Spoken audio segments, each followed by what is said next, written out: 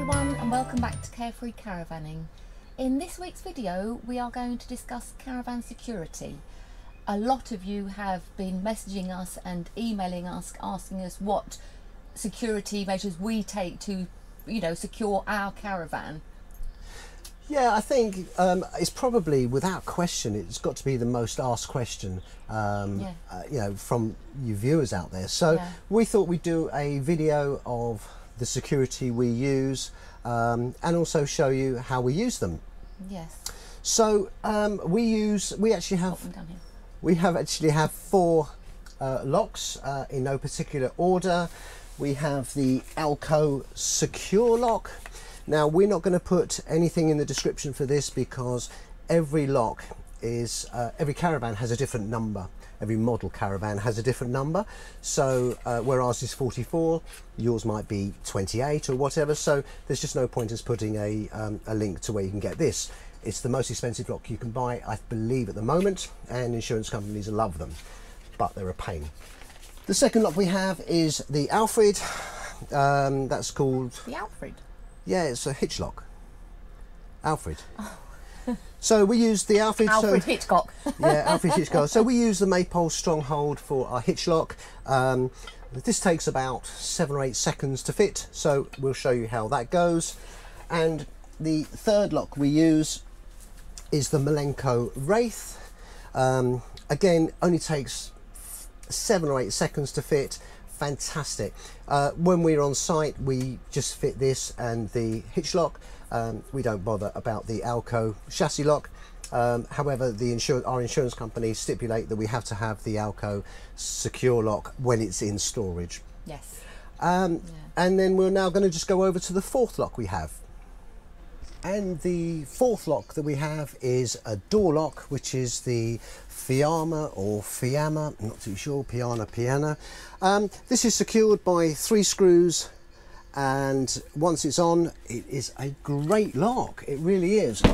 It's basically uh, when the doors close, you twist that round, you've got a key which twists and then you push it in like that and that's it the door that won't go anywhere and the door won't open now some people may say oh you've put it over the handle some people say oh no we always put it down here or up here away from the handle the reason I've put it over the handle is because if you have it here you've got a gap and when you open the so if you the lock's on and you open the door it's enough of a gap for somebody to get a something in, a screwdriver in, and try and damage the door that way.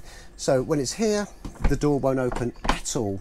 So that's the first lock, the Fiamma or Fiamma door lock. They're very cheap. They're only about £39. Uh, again, we'll put the link in the description. So with the Maypole Stronghold hitch lock, it's very, very straightforward. Um, you get a tow ball replica, which is the first thing you do. That goes in where the tow ball's gonna go. Release the handle down and then the hitch lock literally just goes over the release handle like that. And this, these two bits, one slides in like that and the lock just goes in like that twist it and that's it. It is now secure. And then just close down the top and the Milenco Wraith it's, it's very it's, it's identical to the Nemesis Ultra. Um, you get when you get this you get a receiving bolt that you replace one of your wheel nuts with the receiving bolt that they supply. And then to fit it is really straightforward. You've got this bar that slides in there. And you, you put it let me get the key. And it just goes in the wheel onto the receiving bolt and then locks into place and that's now locked. The Milenco Wraith 30, uh, 30 seconds is 10 seconds to fit. Great piece of kit and the Alko's chassis secure uh, as I said earlier is probably the most secure lock uh, I believe that you can get um, it comes with the inset and a bolt and a locking key and then a lock you also get a uh, a wrench just to tighten up the lock and you get this thing. I have no idea what this is. It might just be if you're getting very hot because you will get stressed when you fit them. Now I can't show you, I can't actually show you how I fit this because we're on site at the moment and as you can see, I don't know if the, you can see, but the caravan is lined up exactly in the wrong position. Now if you can see that yellow receiving bolt, receiving uh, bar there, that has got to be in the middle. And when I say in the middle it is an exact science. It has to be literally in the middle if you can see where it is? It's nowhere near the middle so I can't show you how we're going to fit it. There are however many videos online so if you just type into Google how to fit an Alko secure chassis lock they will show you.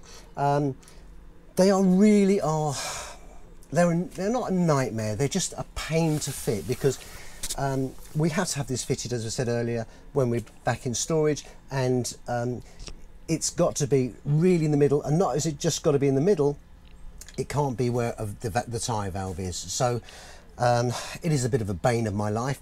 If you have a twin axle one, then you do have to jack the, um, the wheel up to get, because you have one on either side.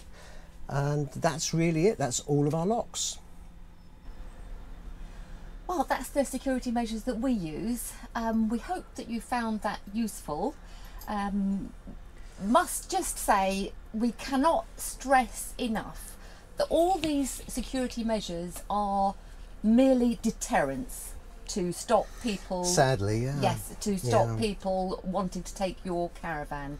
Um, there, there isn't anything on the market that is 100% secure.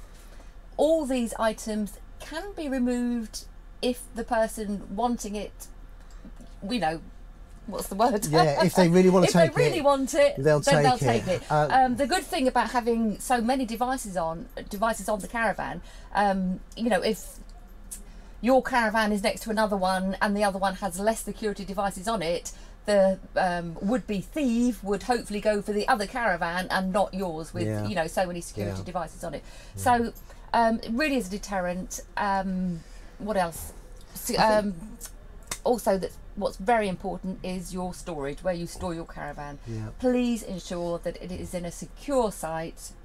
We've done a video on that. Um, how to find a caravan storage site. So if you're unsure about what to look for, then please go back and have a look at that. We'll put a little card description thing line up Yep. here, so you can watch that. Okay. Yeah, so I hope that's been good for you. And uh, yeah, uh, really, as uh, Nick Ross used to say, don't have nightmares. You know, the chances of it happening to you are highly unlikely. Um, so Well, it's becoming sleep more well. and more common. It is Caravan becoming common, and that's is- that's a topic for another. It's becoming a bit of an epidemic. And It is, and that's a topic really for another day. It infuriates me. It know, really does infuriate me. Anyway, anyway, before she goes I've off on one, on enough. before she goes on one, thank you very, very much indeed Yeah, for watching, and thank you everybody who subscribed to our channel. If you haven't subscribed and you like what we've done today, just give us a little subscription up there. Hit the little caravan over Michele's shoulder, and until the next time, we'll see you next time. Thanks for watching. See you soon. Thank you. Bye bye. Bye.